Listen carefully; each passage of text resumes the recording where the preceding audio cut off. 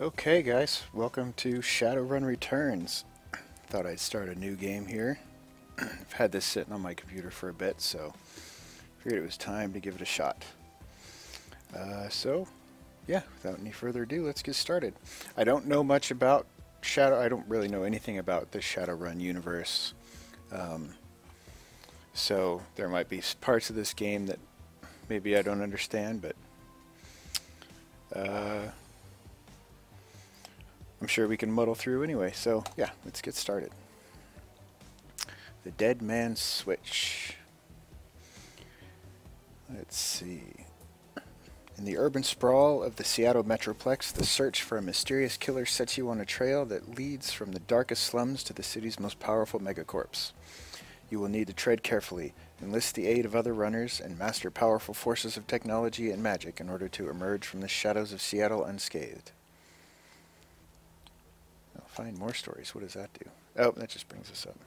Yeah, and I know there's the expansion, and uh, yeah, if that looks good, or if this game looks good, then uh, I definitely plan on picking up the expansion at some point as well. So. Uh, yep, let's stick with normal since I really don't know much about this game at all.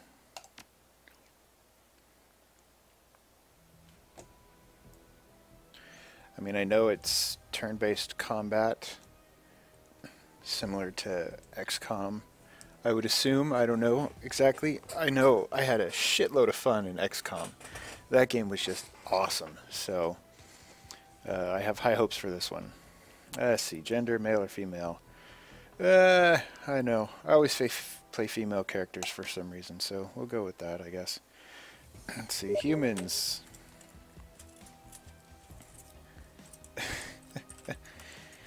Uh, humans were the only race on Earth until the awakening in 2012. Now they find themselves the definition of average or even normal. They are still the most populous race in world.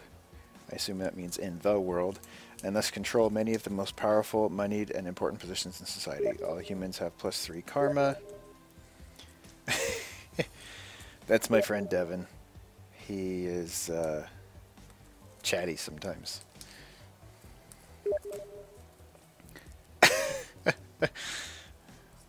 uh, okay, where was I?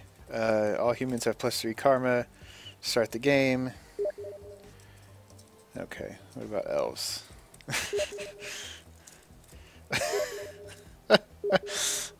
I apologize for him. Uh, I should... But I'm wearing a mother fucking blanket. Okay. uh, yeah, just try to ignore him. I'm going to. Let's see. Many people, especially other metahuman races, see elves as the most as the most fortunate metahumans. They are more attractive and socially acceptable than the other metahumans. Elves are taller. Oh God. Uh, oh my God. He's ruining my let's play here. All right. Um,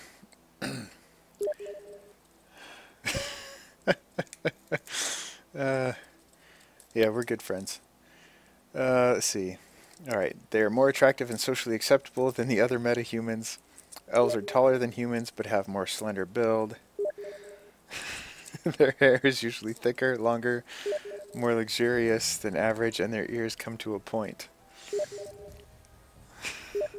All elves have plus one to charisma. uh, let's see. Dwarf. Dwarfs are the shortest of the metahuman races. Compensate their torsos and shoulders are wider than their size would indicate. Thus their strength is equal to and sometimes greater than the larger races. Side effect of their metahuman nature is increased resistance to pathogens and magics, and magic that attacks from within. Plus, all dwarves have plus one to willpower. Orcs are the fastest breeding race, uh, and now are second only to humans in world population.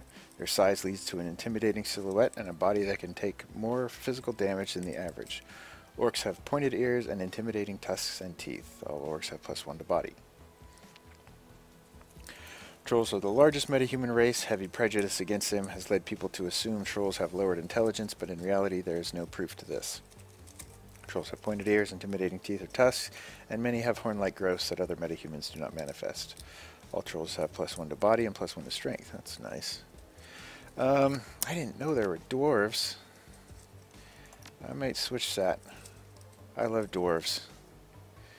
Let's see. Street Samurai is a freelance operative who follows a code of street honor.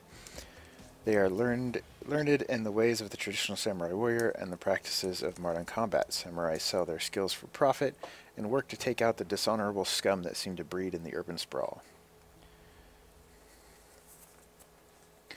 Mages specialize in the casting of spells, but that doesn't mean they can't shoot guns as well. Rather, magic is the center of their life. Their spells reflect a pure balance of the monosphere, cover a wide range of magical effects, and offensive damage attacks to character augmentation or degradation spells to healing. Okay. Uh, let's see, I'm not going to be a mage. Deckers are a cyber deck to jack into the... Deckers use a cyber deck to jack into the matrix the worldwide information grid and computer network. By projecting their minds into the electronic world, Deckers can find secrets others keep hidden away. They use programs and expert systems to fight off the protections that megacorporations place in their way. Shamans believe that their magic comes from a great totem spirit that guides their life path bear, cat, coyote, eagle, or raccoon. Really? Raccoon? Shamans' relationships with their totems allow them to summon spirits and command them to do their bidding. Shamans have the skill to conjure spells eh, that mages cannot. Riggers use cybertech to jack their mind into and control small robot-like vehicles called drones. Riggers use their rigging abilities to provide surveillance, support, and extra firepower when required. Adepts are magically active characters who focus their magic internally to develop to their utmost potential, physically, mentally, and spiritually. As adepts unlock new abilities, they become honed physical machines, using their magic to enhance their close combat abilities. And you feel comfortable with the way characters are built in Shadowrun, you may create your own character. Uh, I don't know about that. uh, let's go with Street Samurai. Why not? What are these? Oh, pre-made characters. Haha, nice.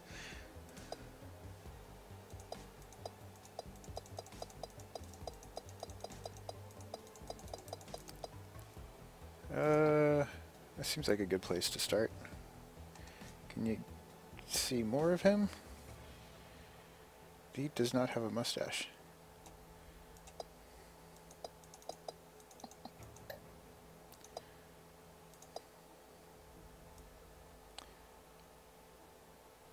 Oh, this is skin color, okay.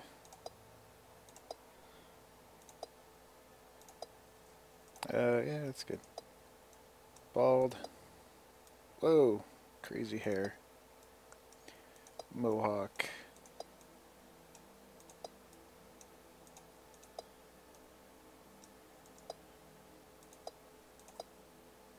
Yeah, we can go with that. Uh, let's see. Black hair. Yeah, black hair is probably fine. Don't think we need pink. Beard.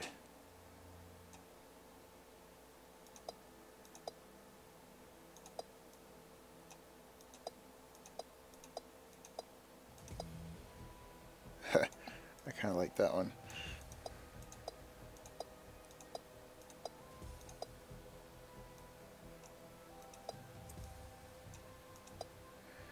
Alright, yeah, we can go with that one. Also black. No horns. Alright. Karma represents the experience characters earn while running the shadows and achieving goals. Karma is used to improve attributes and skills. An attribute or skill rating can be increased by spending karma equal to the next increment of that rating. Thus, improving your body from 4 to 5 requires you to spend 5 karma points. You have some karma available now to customize your character. Okay. Body determines resistance to physical damage. Increases chance to take reduced damage from attacks. For every point of body, hit points is decreased by 10. That sounds very useful. Used to calculate the chance to hit in ranged combat. Reduces the chance to be hit by enemy physical attacks. Let's see. Ranged combat. Pistol, SMG, shotgun, rifle, dodge. Used to calculate the chance to hit with melee or throwing weapons. Also determines how far a grenade can be thrown.